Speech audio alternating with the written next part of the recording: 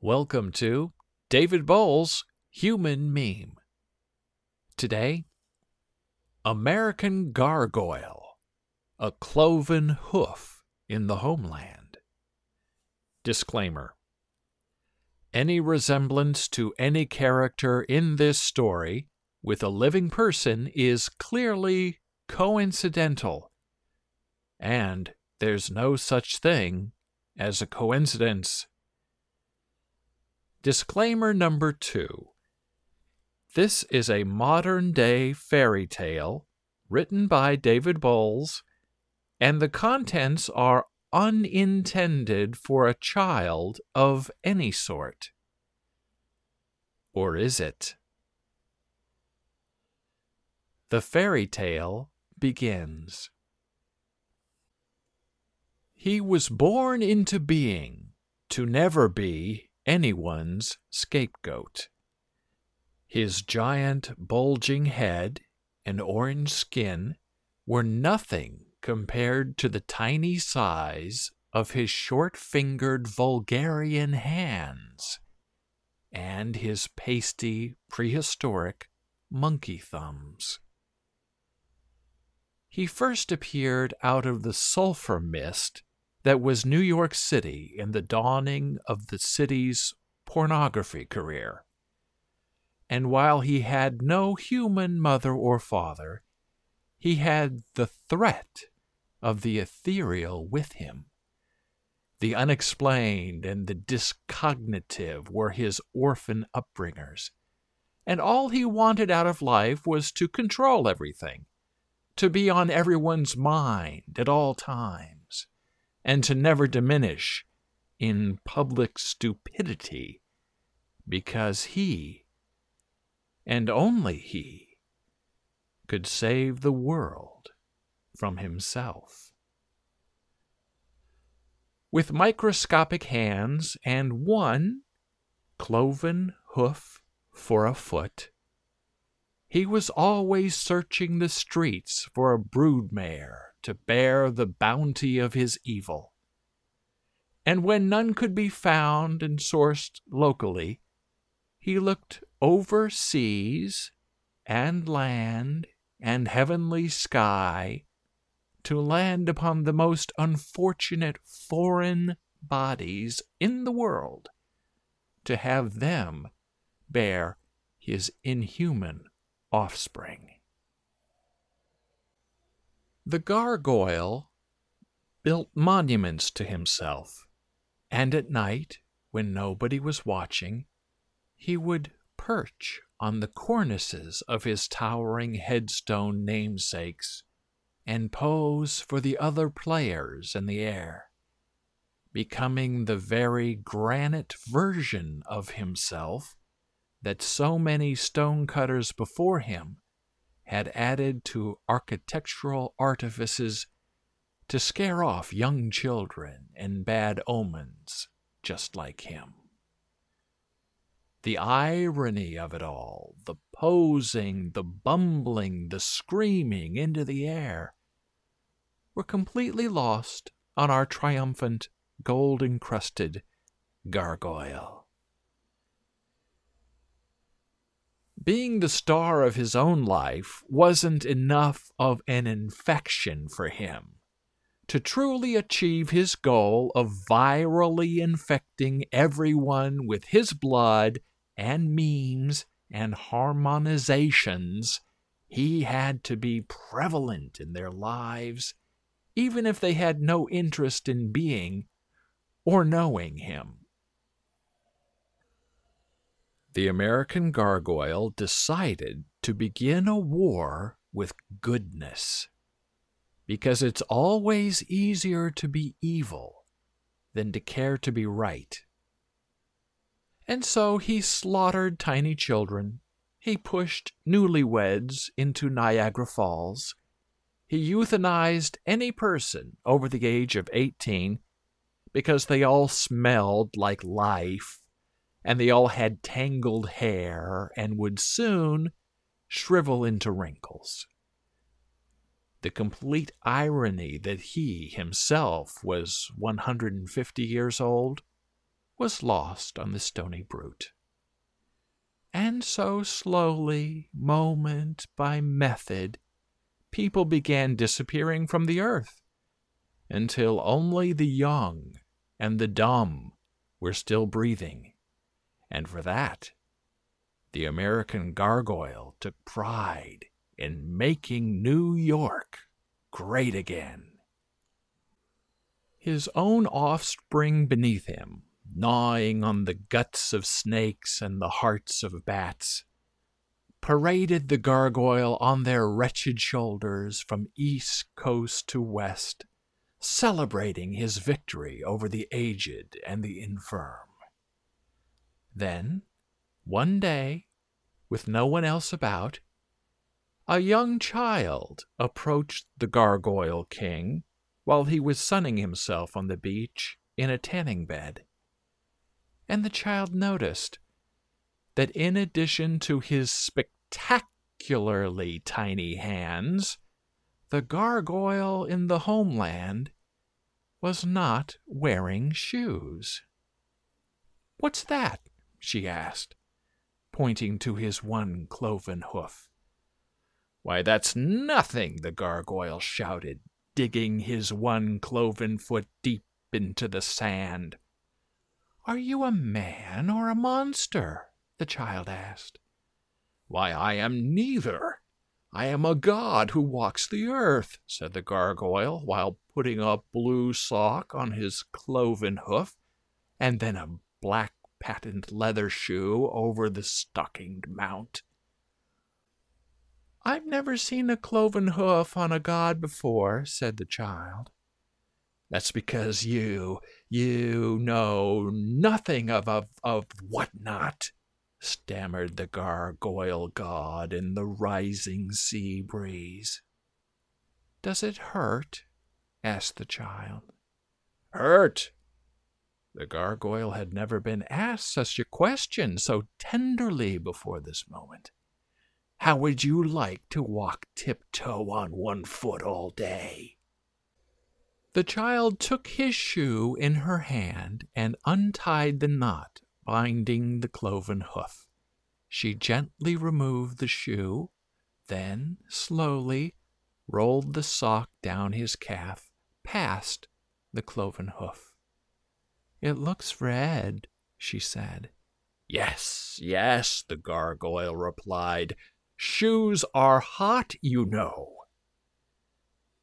The child took his hoof in her hands and gently started massaging the keratin layers. Does that feel better? she wondered. The gargoyle replied, Yes, yes, that's wonderful. Nobody's ever touched my cloven hoof before. It hurts when you hide something, said the child, and she ever so gently kissed his hoof, even though it smelled of betadine and pine sol. Does that feel better? Mmm, said the gargoyle as he lifted his cooled hoof and brought it back down sharply, deep into the eye of the little girl. You're hurting me, said the child, as the gargoyle dug his hoof deeper into her eye sockets, pinning her to the ground. Such a foolish child. I am the God King the gargoyle triumphant. And you think you can defeat me with a kiss on the cloven hoof? I have defeated prettier, younger people than you. I was only trying to help, said the girl, drooling blood from her mouth. Eye mush dripped down her ruddy cheek. Yeah, right, said the gargoyle. Who are you helping now? The girl, now dead and unresponsive, was untucked from the gargoyle's hoof by his three brooding children. and tossed over the railing of their penthouse level apartment. That'll show you, the gargoyle shouted at the falling body tumbling below to help someone more powerful than all of you.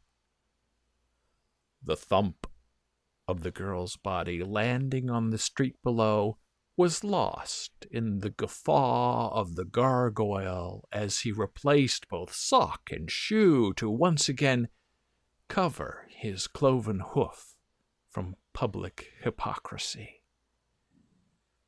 Later that night, while tucked into bed, beneath the mosquito netting covering his ornately carved bed, the gargoyle heard a tiny shout out.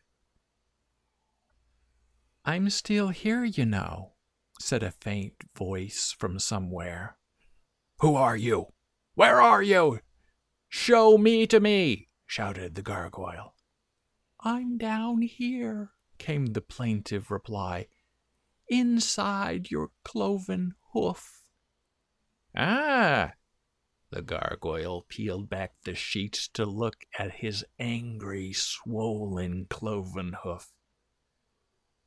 That's better. I can breathe now, came the thin reply. What are you doing in my cloven hoof? stormed the gargoyle. I'm part of you now. We'll be together forever. Never! The gargoyle leapt to the fireplace and used a steel truncheon to sever his cloven hoof from his body. He hopped to his penthouse window and tossed his now giggling, bloody hoof over the railing into the city below.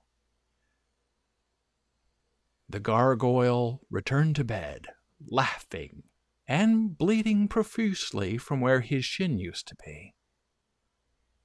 When he heard the voice again, louder this time, I'm still here. Ah, where, where? The gargoyle spun around in his bed, looking.